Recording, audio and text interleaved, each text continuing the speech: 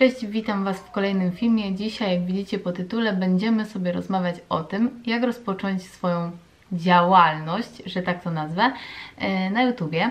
I nie wiem, czy jestem w ogóle odpowiednią osobą, żeby poruszać ten temat, z tego względu, że mój kanał nadal raczkuje, e, ale jedna z Was w komentarzach poprosiła, żebym nagrała taki film, a że ja jestem tutaj dla Was, e, no to stwierdziłam, że czemu nie? Także za bardzo się też nie przygotowywałam, bo powiem szczerze, nie miałam za bardzo czasu, żeby tak usiąść i przeanalizować to dokładnie, e, ale może spontanicznie nawet wyjdzie lepiej, także zapraszam. Zaczniemy sobie od takich podstawowych rzeczy, chociaż myślę, że one są oczywiste, ale warto też o nich wspomnieć. Na początku oczywiście musicie sobie zrobić konto na YouTubie, więc wow, Ameryki nie odkryłam. Myślę, że większość osób ma, ponieważ ja też dużo wcześniej y, miałam konto, y, bo oglądałam inne dziewczyny, dziewczyny, wiecie, subskrybowałam, no komentowałam to raczej nie, bo ja taka jestem, że raczej nie komentuję innych filmów, e, ale oglądałam, subskrybowałam, później miałam w tych zakładkach, że moje subskrypcje i było mi łatwiej po prostu do każdej dziewczyny dotrzeć, którą lubiłam oglądać i nadal lubię. Żeby zacząć nagrywać, no to to konto też musi być. Więc ja wykorzystałam to, które już miałam. Nie, nie zaczynałam jakby wszystkiego od nowa, po prostu zmieniłam sobie tylko nazwę. I właśnie, nazwa to jest kolejny krok, ponieważ... Yy, możecie mieć y, imię i nazwisko i teraz też sporo osób tak robi, zauważyłam, e, ale wiadomo, nie każdy chce. Ja cały czas miałam konto pod imieniem i nazwiskiem, natomiast zaczynając już e, myślenie o tym, że chcę zacząć nagrywać, no to przyszedł y, ten moment, kiedy trzeba wymyślić jakiś tam login, nick, wiecie o co chodzi. E, I u mnie była prosta sprawa, bo ja od zawsze miałam od zawsze, no już nie pamiętam od kiedy, ale to było naprawdę bardzo dawno temu, gdzieś może w podstawówce. Miałam ksywkę Lusia i tak to się przyjęło. Yy, nadal zresztą taką mam, wszyscy tak do mnie mówią, więc chciałam to wykorzystać, yy, a że wtedy Lusia chyba nie było dostępne, tak mi się wydaje, no w sensie, że było zajęte przez kogoś, no to takie moje kombinacje i wyszedł Lusiak. Mi to jak najbardziej odpowiada, więc tutaj nie miałam jakiegoś wielkiego problemu, chociaż wiem, że wymyślenie własnego loginu no nie należy do najprostszych rzeczy. A kiedy już to wszystko mamy, to przychodzi czas na określenie tematyki kanału i czego się tutaj złapać. Powiem Wam, że takich kanałów jak mój, no to jest po prostu miliony. No niestety w tej kategorii bardzo ciężko jest dotrzeć do większego grona odbiorców, bo tego jest bardzo, bardzo dużo. Taki lifestyle, moda, uroda, wiecie o co chodzi. No zresztą widzicie jak mój kanał wygląda. Ja właśnie chciałam, żeby mój kanał był w takiej kategorii, troszkę wymieszany, trochę vlogów, trochę filmów kosmetycznych, pogadankowych. No mi się to bardzo podobało u innych dziewczyn, także tym się jakby zaraziłam. I kiedy to już wszystko miałam ogarnięte, no to przyszedł czas na to, żeby nagrać jakiś film i wrzucić. Oczywiście na początku bardzo się bałam e, tego... Hmm, no, opinii innych to jest jasne, ale o tym pogadamy sobie za chwilę. E, ogólnie nie chciałam się też odzywać, żeby nie było słychać mojego głosu, chciałam to puścić tak na próbę, więc jakoś tak spontanicznie z przyjaciółką wymyśliłyśmy, że nagram tam pokaz tych lakierów Golden Rose Chip. I to był mój taki pierwszy film rozpoczynający mój kanał, bo wcześniej miałam jakiś tam vlog z Hajduszo Boszlo, ale to nie było w ogóle związane z mm, później z jakby z dalszym nagrywaniem filmów, bo moje życie się potoczyło tak jak się potoczyło, miałam tam chorobę taką skóry, przez którą no, byłam wyeliminowana kompletnie z jakiegoś życia towarzyskiego, ale nie o tym jest ten film więc y, ten vlog chyba jest gdzieś tam. To było raczej na zasadzie takiej pamiątki dla nas, mm, ale później ten pierwszy film o tych lakierach Golden Rose Ice Chic jakby rozpoczął już y, całą tą moją działalność w sieci. Muszę się poprawić, bo trochę mnie plecy bolą, ale no właśnie chciałam sobie usiąść tak na luzie, żebyśmy sobie pogadały, pogadały, pogadali, e, tylko że po prostu tutaj też oświetlenie nie jest dobre, bo z tej strony mam okno i ładnie mi tutaj doświetla twarz, a z tej mam cień. I to też jest kluczowy element filmów, e, nagrywania filmów, żeby po prostu pilnować tego, żeby światło odpowiednio padało. No ale dobra, już ten film niech zostanie taki, jaki jest. Później e, były różne filmy, Większość jest na kanale, wszystkich od początku. Parę, przyznam, zdarzyło mi się usunąć, nie wiem, może z dwa, trzy filmy faktycznie chyba usunęłam. Żałuję tego trochę, to było tak pod wpływem chwili, pod wpływem emocji, e, ale czasem wracam do tych starszych filmów i widzę progres, jaki zrobiłam. Ja nie mówię, że to jest jakiś, e, nie wiem jaki progres, że to jest w ogóle nie była ziemia, bo nie, nie, nie. Natomiast widzę mm, błędy, jakie wtedy robiłam, e, co jest dobre moim zdaniem, bo możemy przynajmniej wyciągnąć wnioski i tego więcej nie popełniać. Też chciałam troszkę przedobrzyć, czasem dawałam za dużo tych efektów, czasem w ogóle. No, wszystkiego musimy się nauczyć, ale dobra, idźmy po kolei. Więc teraz kolejnym kluczem, w sumie to powinno być przed dodaniem pierwszego filmu, bo tutaj też ważną rolę spełnia sprzęt. I myślę, że to jest najważniejsza rzecz w ogóle, żeby nagrać jakikolwiek film. Wiadomo, że nie możemy tego zrobić telefonem. To znaczy teraz możemy, bo faktycznie mm, te telefony mają coraz lepszą jakość i na przykład ja mam iPhone'a teraz XR i on y, nagrywa bardzo podobnie do tej kamery, którą nagrywam teraz. To jest Canon G7X PowerShot 2 Mark, coś takiego, Mark II, no, no, no nie wiem. Y, I jest różnica faktycznie, ale we vlogach często przewija się materiał nagrywany telefonem i ja nie odczuwam tej różnicy i mam, mam nadzieję, że Wy też nie odczuwacie, chociaż no, może gdzieś tam różnić się to jakoś, ale nie jest to aż takie, że wiecie, tu jest jakość kamery, a tu jest jakość telefonu. Nie ma takiej różnicy pomiędzy tym, więc faktycznie można te filmy nawet nagrywać telefonem. Grunt, żeby mieć telefon yy, z dobrą jakością nagrywania bo się poplątam. Ja mam to szczęście, że faktycznie już wtedy miałam lustrzankę bardzo porządną, nadal ją mam i ona e, moim zdaniem jak nawet te kilka lat minęło, to e, nie mam się do czego przyczepić, poza e, tym, że nie mam podglądu. Więc ja, jak nagrywałam te wcześniejsze filmy, to musiałam ustawiać ostrość, wyłączać nagrywanie, iść zobaczyć z powrotem, czy ta ostrość była, znów usiąść i to było też trochę takie na farta, yy, że nagram film, posiedzę tutaj z Wami 20 minut, pogadam sobie, a później okaże się na przykład cały film nie miał ostrości. Zdarzyło mi się to bardzo dużo razy i to też strasznie mnie zniechęcało. Częściej teraz sięgam po tą kamerkę do nagrywania niż do nagrywania vlogów, niż właśnie po lustrzankę, a to błąd, bo ta lustrzanka naprawdę super nagrywa, ja jestem z niej mega zadowolona.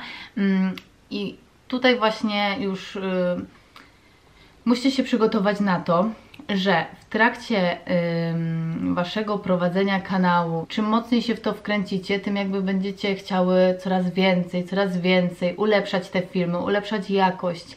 Yy, I ja właśnie mając tylko lustrzankę nie mogłam nagrywać vlogów. Nie miałam też oświetlenia, yy, więc y, jesienią, zimą no, było mi trudniej końcu kupiłam softboxa i to była moja pierwsza inwestycja w kanał. E, kupiłam sobie, znaczy w sumie pierwsza inwestycja to było statyw na lustrzankę. Druga inwestycja to właśnie był softbox. Mm, jeden bo jeden, ale faktycznie sporo mi pomagał. I na początku właśnie takie inwestycje miałam. Wiadomo, że czym chciałam nagrywać jakieś filmy kosmetyczne, testy i tak dalej, to musiałam te kosmetyki oczywiście kupić. E, no to jest akurat normalne, ale czasem nawet czegoś nie potrzebowałam, a z racji, że chciałam nagrać o tym film, to musiałam po prostu iść za własne pieniążki, kupić to i nagrać. No ale musicie się z tym liczyć, że właśnie z tym to się je. Yy, taka właśnie działalność w internecie, jeżeli chcecie yy, właśnie w takiej tematyce moda, uroda yy, działać, no to jakby trzeba nadążać za tym wszystkim, obserwować też inne kanały, co inne dziewczyny nagrywają. Muszę przeanalizować i sama coś wymyśleć w tym kierunku. To nie jest wszystko takie proste, jakby się wydawało, że się siada i nagrywa i koniec. Tu naprawdę trzeba poświęcić troszkę czasu, analizować co się dzieje w internecie, co jest teraz na czasie. Y, no jest to naprawdę... Mm, komuś się może wydawać z boku, że to jakby właśnie mm, nie pochłania tyle czasu i, i że co to takie nagrywanie? No, no nie, to tak nie wygląda. Wy to tak widzicie ze swojej strony, ale osoba, która już się y, solidnie zabiera za swój kanał i faktycznie chce te filmy wstawiać regularnie, no to wie, że naprawdę trzeba bardzo dużo czasu poświęcić na to wszystko, żeby to miało ręce i nogi. W tamtym roku zainwestowałam w nowy sprzęt. Chciałam e, ogólnie zacząć też nagrywać vlogi, a że nie miałam, znaczy nie miałam, no nie miałam żadnej takiej kamerki, wiecie, fajnej do ręki, a lustrzanką próbowałam i parę vlogów faktycznie jest na kanale nagrywany lustrzanką, ale to była porażka, w sensie ręka mi po prostu odpadała, no ale na siłę chciałam je nagrywać, bo mi się tak vlogi podobały. Uwielbiam je oglądać i właśnie lubię je nagrywać, więc no siłą rzeczy próbowałam.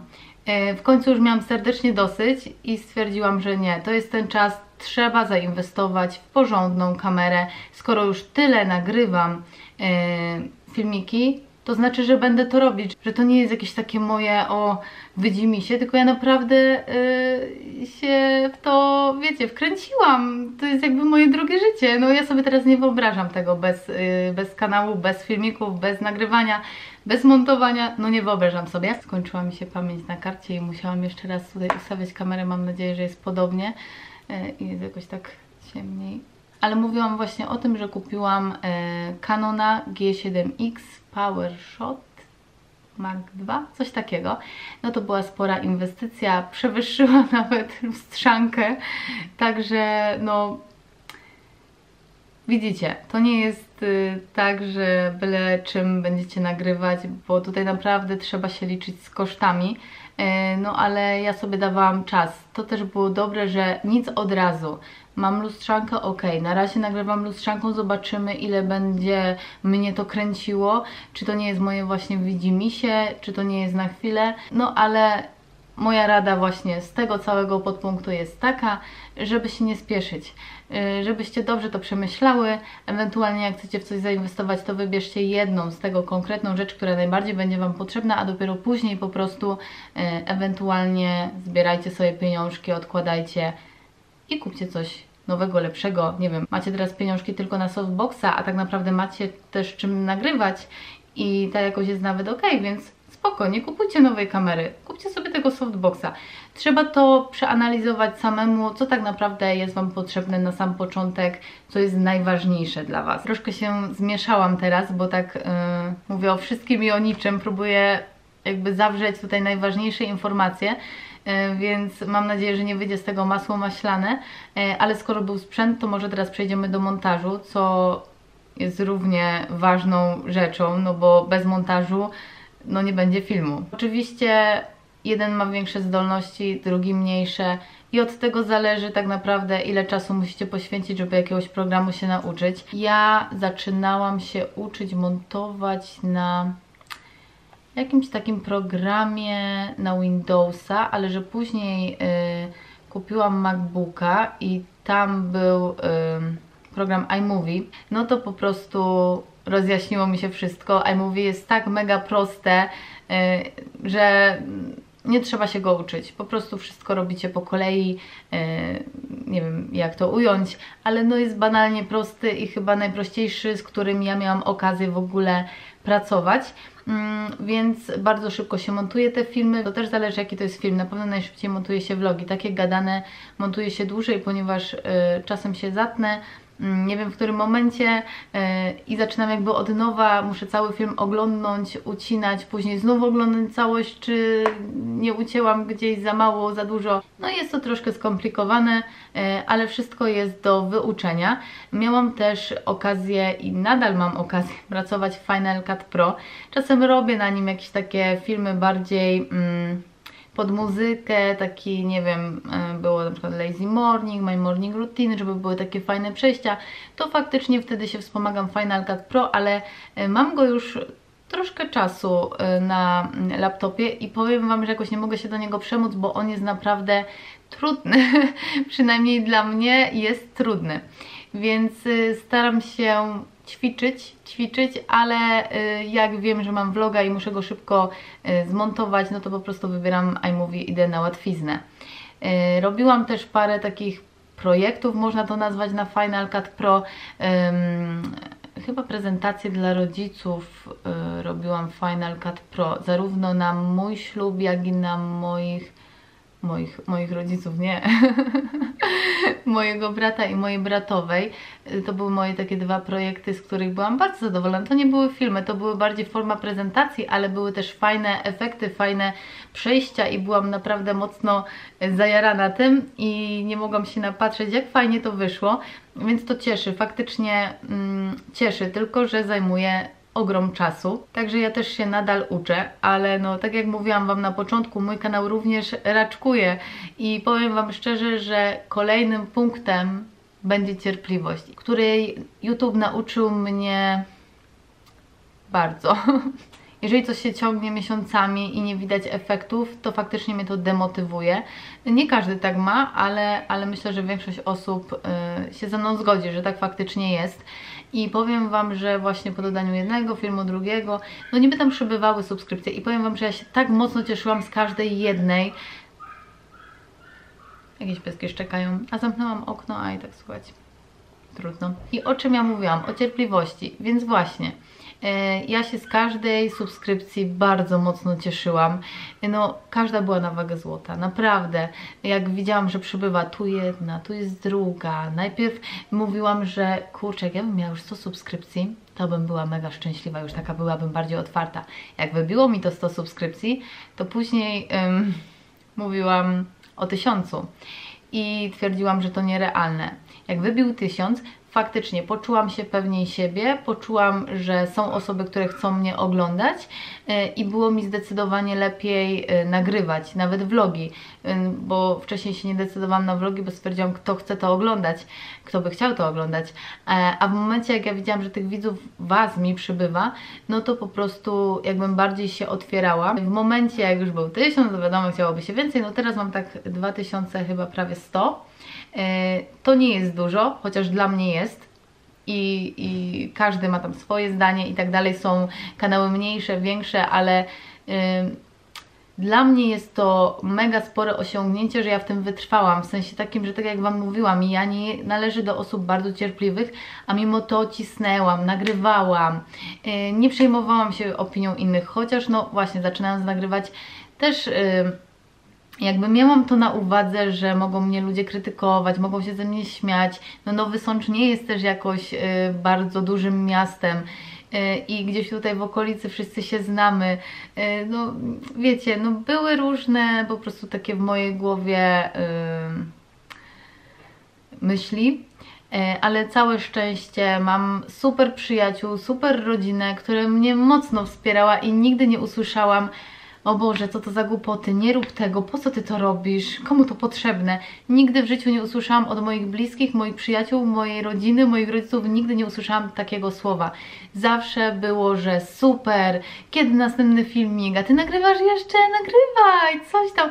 No po prostu to jest tak mega motywujące. Myślę, że tutaj właśnie dużą robotę robią osoby, które są wokół Was. I ja w ogóle zaczęłam nagrywać dzięki Kubie, bo to on mnie kopnął w cztery litery i powiedział, dziewczyno, Nagrywaj, jeżeli Cię to jara, jeżeli Ci się to podoba, jeżeli chcesz to robić, to dlaczego masz się ograniczać? Bo co, bo ludzie coś powiedzą, bo się zaśmieją, no to niech się śmieją.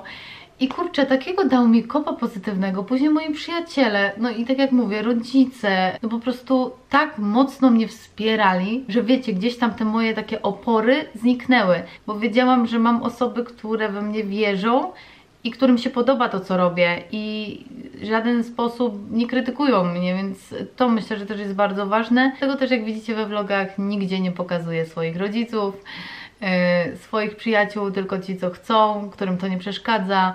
Yy, Kubę nagrywam, bo yy, Kuba lubi, ale też nie zawsze z tego względu, że no, obydwoje pracujemy gdzieś tam, nie ma tak, żeby ciągle przebywać ze sobą.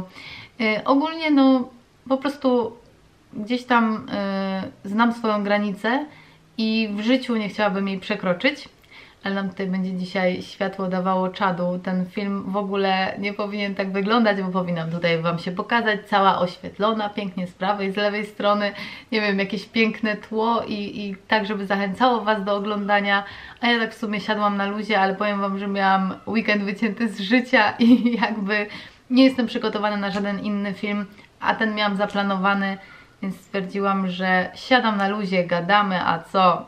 Nie będę się tym wszystkim przejmować. No, więc wracając to cierpliwość, cierpliwość i jeszcze raz cierpliwość. Wiem, że łatwo powiedzieć. Ja sama przez to przeszłam, nadal przechodzę, bo też bym chciała rozwijać kanał, żeby trafić do szerszej y, publiczności, żeby więcej osób znalazło właśnie moje filmiki, żeby oglądnęło, zasubskrybowało każdy by chciał, ale to nie jest takie proste w tych czasach e, YouTube'owych, że tak powiem. Mam nadzieję, że jeżeli ktoś zastanawia się z Was nad y, właśnie tym krokiem do przodu i, i właśnie rozpoczęcia swojej działalności, ja to tak nazywam działalność na YouTube, ale no nie wiem jak inaczej to ubrać w słowa, więc jeżeli ktoś się z Was zastanawia, e, a przejmuje się na przykład opinią innych, ja naprawdę, uwierzcie mi, radzę Wam po prostu to olać. Nie wiem, czy to jest ładne określenie, ale wiem jak to jest i naprawdę nie ma się czym przejmować, bo ludzie zawsze znajdą problem, ludzie zawsze będą chcieli Wam wytknąć jakąś rzecz.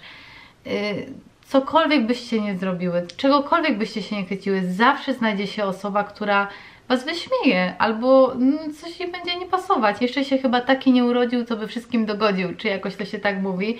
Ja się tym absolutnie nie przejmuję, robię swoje yy, i, jestem szczęśliwa, że, yy, że do takiego punktu doszłam i do takiego myślenia też doszłam, bo u mnie też to różnie bywało.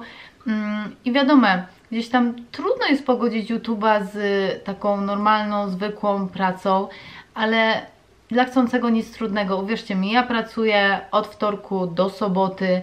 Y, nie mam za bardzo też dużo czasu, bo całe dnie spędzam w tej pracy, wracam i zabieram się za albo nagrywanie vloga do Was, y, coś tam sobie pogadam, albo montuję. Później te filmy trzeba zapisać, to też jest czasochłonne, w sensie zanim to się wszystko tam zrenderuje. Wrzucenie na kanał. To są niby takie błahostki, ale naprawdę no musicie się temu poświęcić, jeżeli chcecie. E, ja się już przyzwyczaiłam, że tak wygląda moje życie, praca, e, nagrywanie, montowanie, praca, nagrywanie, montowanie. Dopóki nie mam dzieci, to myślę, że mogę sobie na taki tryb życia pozwolić, a za kilka lat no to zobaczymy jak to będzie wyglądać, chociaż nie chciałabym przestać nagrywać, bo sprawia mi to ogromną radość. E, mi to daje takiego powera do działania. Mnie to buduje wszystko, ja lubię taką twórczość, lubię tworzyć, E, I mimo, że czasem to są takie filmy, że po prostu zlepia się te klipy i to jest koniec, to mimo wszystko buduje to człowieka. No nie wiem, ja nie wiem jak mam, nie wiem jak mam to wytłumaczyć o co mi chodzi, ale ogólnie lubię taką twórczość tworzyć. Coś, wiecie, cokolwiek. No ja już skończę to moje gadanie, bo ten film będzie trwał długo. Ja nie wiem jak ja to w ogóle zmontuję, bo mój laptop jest przeciążony, jeżeli chodzi tutaj o pamięć. Wszystko tam na nim mam i później ciężko mi się montuje dłuższy materiał, bo mm, no brakuje mi miejsca na dysku. Muszę sobie w ogóle kupić dysk przenośny. I widzicie, to jest kolejny y, zakup, inwestycja do kanału. To się tak wydaje, ale no niestety tak jest. Dobra, koniec mojego gadania. Jeżeli o czymś zapomniałam, a coś jeszcze chcecie wiedzieć, to dajcie znać koniecznie w komentarzach, bo tak jak mówię, nie przygotowywałam się za bardzo do tego filmu i yy, usiadłam sobie tutaj na spontanie i z Wami pogadałam. Mam nadzieję, że sumie może i fajniej nawet wyszło, bo jakbym się przygotowała i mówiła Wam tak punkt w punkt, to nie wiem, czy to by było dobre, a tak to tu trochę tego, tu trochę tego, mam nadzieję, że jest ok. Tak jak mówię, dajcie znać, jeżeli jeszcze o czymś chcecie usłyszeć, a ja się będę już z Wami żegnać. Dziękuję za oglądanie, no i standardowo widzimy się w kolejnych filmach. Cześć!